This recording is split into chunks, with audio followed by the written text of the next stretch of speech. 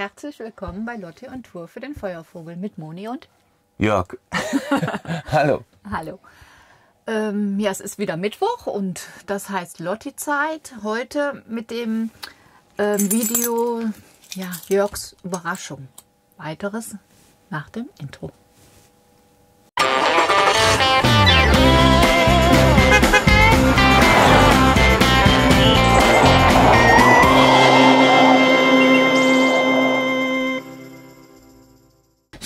Dass ihr dran geblieben seid. Ja, schön. Ja, Jörgs Überraschung, das war vor einigen Wochen, haben wir das mal so anklingen lassen, dass wir da ein Video drüber zeigen wollen. Jetzt ist es endlich soweit. Äh, ich fange mal ganz vorne an. Es ging darum, wir haben irgendwann mal bei Natur oder ich weiß nicht, was wir gemacht haben, auf jeden Fall ähm, haben wir hier abends hier unten ferngeschaut, ganz normal, an, an unserem Fernseher, was hier unten steht, von der Essecke aus. Und ähm, dann sind wir schlafen gegangen und dann habe ich oben gelegen und dann habe ich gedacht, Mensch, ah, es wäre ja auch schön, wenn man oben jetzt im so Schlafbereich, wie im Schlafzimmer zu Hause oder so. Genau, auch einen Fernseher hätte. Bei einem, weiß ich nicht, Regentag oder einfach mal faulenzen, oben schön gemütlich mit einem Gläschen Wein oder auch Wasser, ist ja egal. Ein bisschen fern. Ja, Jörg hat das irgendwie, hat er gar nicht so drauf reagiert und das war ja auch einfach nur so eine, ja, so eine Idee oder so ein, so ein geheimer Wunsch von mir und dann ist wieder Zeit vergangen und dann musste unsere Lotte ja in die Werkstatt zur Alarmanlageneinbau zum, und ähm, Schlösser. Schlösser, genau. Und zur Inspektion. Da war sie halt eine Woche weg. Ja, und da äh, hat Jörg dann wohl auch veranlasst, ähm, dass so eine Vorrichtung für dieses Fernsehen, was ich mir ja insgeheim gewünscht habe, hat Ein er Splitter am, ja, einen Splitter hat am er, Fernseher. hat er einbauen lassen. So. Und hat mir davon natürlich nichts erzählt. Und dann ein paar Tage später hat er dann gesagt, so jetzt können wir uns eigentlich mal um das Fernsehen bemühen. Und hab ich gedacht, hm? ja, das war doch so dein, ne? Ich habe das schon mitgekriegt, das hast du dir ja irgendwo insgeheim gewünscht und jetzt können wir doch mal gucken. Ja, und so ist das, hat das alles angefangen. Und jetzt ist unser Fernseher auch wirklich da. Er ist noch nicht eingebaut. Na, ich habe gedacht, ne, so Mädels, Mädels haben gedacht, okay, der Fernseher ist da, der kommt jetzt da oben an die Wand, wo wir ihn gerne hätten und gut ist. Aber ist halt nicht so. Aber wie das jetzt alles so funktioniert und was man dafür benötigt, das musst du jetzt erzählen. Ich habe ein bisschen Angst vor dieser Aufgabe, den Fernseher anzubauen, aber Das schaffst du. der 12-Volt-Anschluss äh, dient dann quasi als Stromquelle. Von da aus gehe ich, äh, bohre ich einmal durch die Decke des Schranks und komme quasi hier oben aus, ja, über dem Schrank und von da aus durch diese obere Schrankwand hier. Wenn alles glatt läuft, komme ich hier oben irgendwie mal in dem, im Kleiderschrank aus.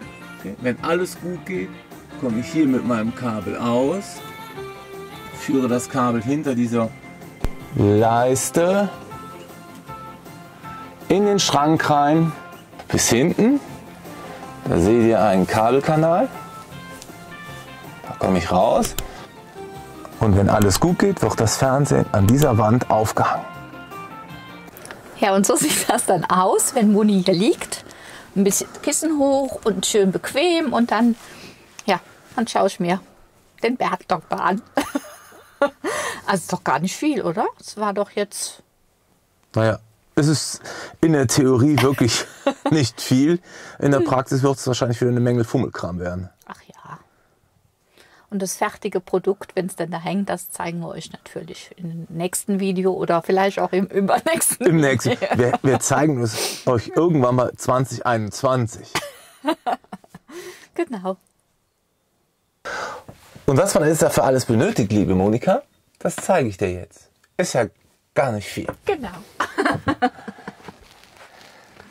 Also, zum einen habe ich dir den Fernseher besorgt. Einen speziellen 12-Volt-Fernseher. Da ist er. mein Bett huckt voll.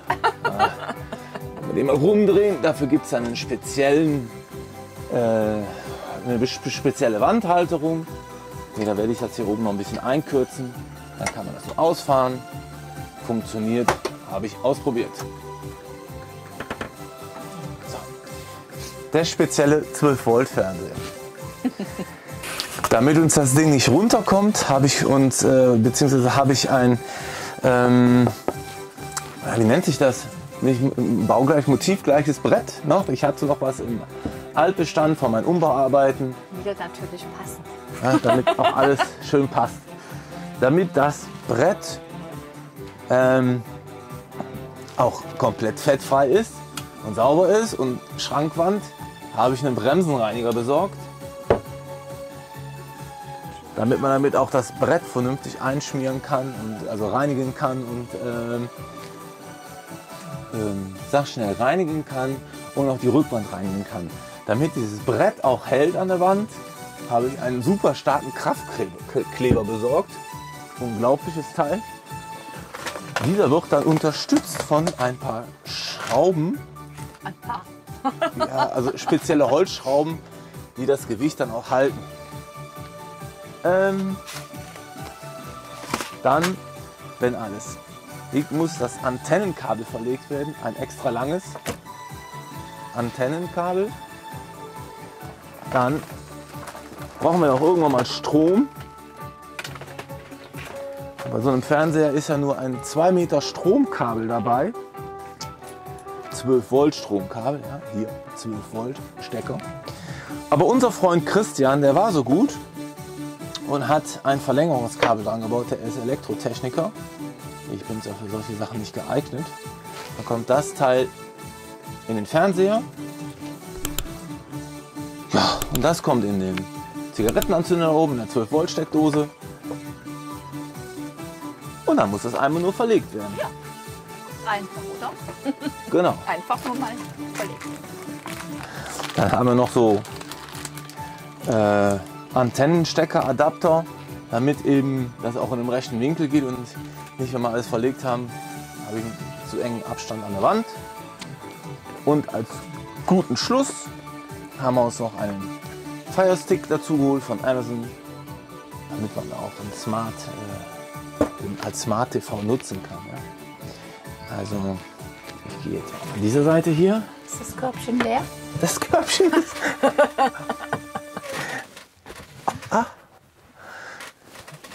das Körbchen jetzt leer? Das Körbchen ist leer, ja. Also ihr seht, ein bisschen Vorbereitung nur für Monis, um, um Monis Wunsch äh, zu erfüllen. Ähm, ich habe schon sehr großen Respekt vor dieser Aufgabe, weil wenn die Schräubchen zu lang sind, das muss man natürlich vorher alles mal gut ausmessen, sind die Schräubchen aber zu lang, dann geht das ab ins Badezimmer, direkt in die Duschkabine und dann das wollen wir jetzt gar nicht hören. wird's, dann wird es wirklich gefährlich. Also, ich glaube, es wird eine spannende Aufgabe, da werde ich auch bestimmt mehr als einen Tag für brauchen. Ja. So, wollen Aber wir, wir haben ja noch ein bisschen Zeit. Wir können ja, dürfen ja immer noch nicht weg. Von daher hast du auch keine Langeweile. Wollen wir uns noch äh, ganz kurz, ganz kurz möchte ich mich noch bedanken. Es hat tatsächlich jemand 50 Euro dem Feuervogel gespendet. Vielen Dank nochmal an den edlen Spender. Das finden wir ganz große Klasse und ähm, Kommen natürlich den Kindern sehr zugute. ja, direkt. Ne? Ich weiß nicht, vielleicht kaufen sie davon ein Spiel oder Ja. Ist auch egal. Auf jeden Fall vielen, vielen Dank dafür. War super klasse. Ähm, ganz toll. Der Feuervogel bedankt sich. Eine Sache wollte ich auch nochmal nachreichen. Es haben viele geschrieben, tolle äh, Alarmanlage und äh, Schlösser sind auch ganz toll. Nur das mit den vielen Schlüsseln, das wäre ein bisschen nervig. Ähm, ich habe mich da mal auf die Suche begeben. Und zwar ähm, ist es tatsächlich so, dass beide Fahrerschlösser äh, kompatibel sind mit dem Aufbauschloss von, dem, von der Türe hier und mit den Garagenschlössern. Das heißt also, ich habe letzten Endes nur zwei Schlüssel. Einmal von der Garagentür, dann habe ich da äh, GT eingraviert, Garagentür. Und einmal habe ich auf dem Schlüssel A, AT eingraviert, äh, Aufbautüre. Somit ist dann die Anzahl der Schlüssel um circa äh, 200% geschrumpft. Ja? Und dann ist das auch wieder erträglich. Und ansonsten muss sagen, funktioniert bis jetzt einwandfrei. Keine Fehlalarme. Ähm, Wir müssen nur immer dran denken, wenn wir hier rein wollen, dass wir vorher erst einmal die Fahrertüre öffnen, damit die, ähm, Ja, sonst wird es sehr laut. ja, die Zentralverriegelung muss einmal äh, mitbekommen, oder die Türverriegelung einmal mitbekommen, dass die Fahrer Beifahrertüre geöffnet wurde und dann verschließt er sich nicht automatisch wieder. So, ich würde sagen, das war kurzes Video, technisches Video. Ähm, so kann es gehen, wenn man jemanden einen Wunsch erfüllen möchte. Ähm, Ja. Ansonsten würde ich sagen, Sehen wir uns nächste Woche wieder. wenn euch dieses Video gefallen hat, Schenkt uns einen Daumen hoch, abonniert unseren Kanal und dann sehen wir uns nächste Woche Mittwoch wieder bei Lotte und Tour für den Feuervogel mit Moni und Jörg. Bis dann. tschüss. Tschüss.